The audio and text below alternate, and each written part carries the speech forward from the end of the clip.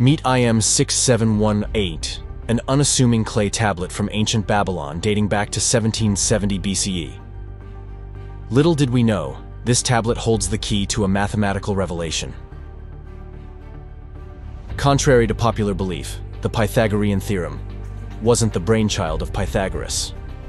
This Babylonian tablet used the theorem centuries before Pythagoras was even born around 570 BCE.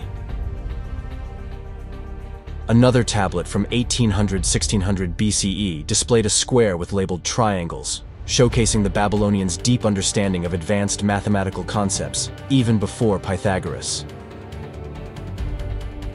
In a paper on the topic, mathematician Bruce Ratner concludes, the Babylonians knew the relation between the length of the diagonal of a square and its side, d equals square root of 2.